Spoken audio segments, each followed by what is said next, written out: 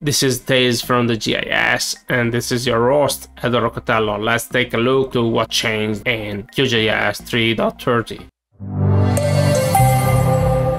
To see what changed, we will use the visual changelog that it's available on YouTube, and I will skip on the various uh, changes and I'll do some consideration about about that. So let's start. The first one is the breaking change. Um, QGIS 3.30 will break the backward compatibility for the projects if they are older than QGIS 3.16 and this is due to the symbology because the XML structure is quite complex and to keep it word backward compatib compatible is uh, really hard. So this compatibility is not guaranteed anymore. Let's go straight to the the next change which is the raster map tips. And you can actually have a tip while browsing the map for raster data, you can define it using HTML and CSS, and you can do a few function call, map to HTML table, map to HTML DL, raster attributes, and um, others. And this is uh, quite interesting as you can inspect raster without actually having to inspect manually. So let's go again. The map to HTML table and map to HTML DL are two function call which merge uh, map elements to HTML table string or definition list respectively. They uh, have been done because of the raster map tips. Okay, let's go on. You can also have the raster attributes, which are the attribute for the layer with the band the value. This is not only useful for the raster map tips, but for also Python programming and everything related to raster data. Also, you can have the layer cursor point, which is the last cursor position in the canvas of the map. Also really useful. Okay, another thing which is really interesting is that you can identify things on map move uh, on mouse move sorry and without clicking to show elevation for instance but also to query things.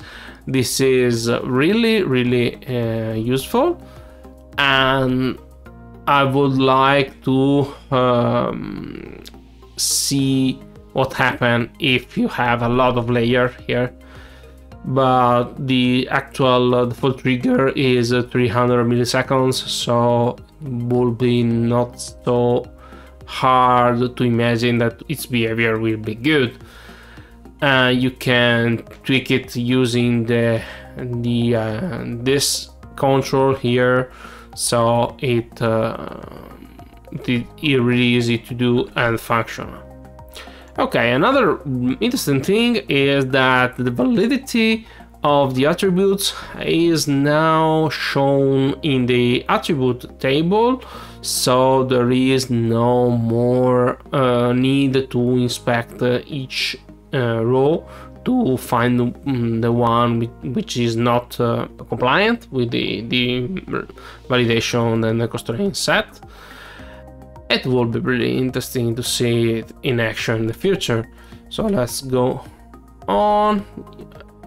Now we have the better um, SLD compatibility and in the past uh, we had a lot of issues when exporting the symbology of QGIS into the SLD standard but now it has been really improved SLD is uh, still behind the styling uh, techniques of um, QGIS, but um, you can work it around if you need. Next, we have the global map shading, so you can set both the eye dome lighting or the hill shading. And you can using you can do it using the point cloud the mesh layers and raster layers. So you can set um, how to combine this information using a method.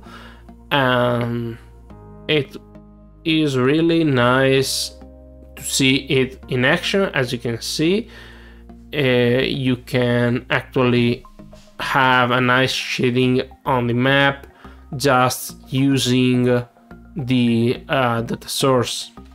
Something has been done for the 3D features and limiting the 2D extent of a 3D scene so you can spot on a point and uh, you can also have uh, the shortcuts in the print layouts and you have a shortcut manager available in the uh, print layout. So you can improve your workflow in the mm, print manager in print layout manager.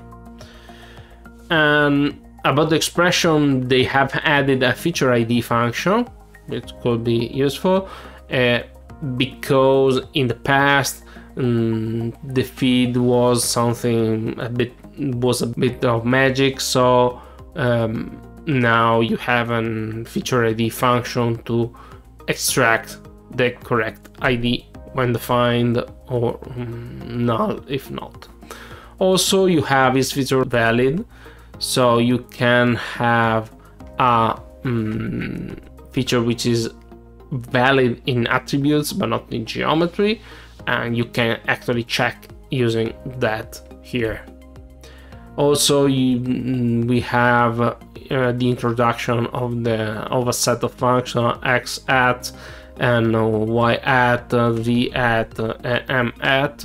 Uh, instead of using the the old one we have a dollar mm, in front you have metadata meta search uh, with a few key dates added created published revised proceeded.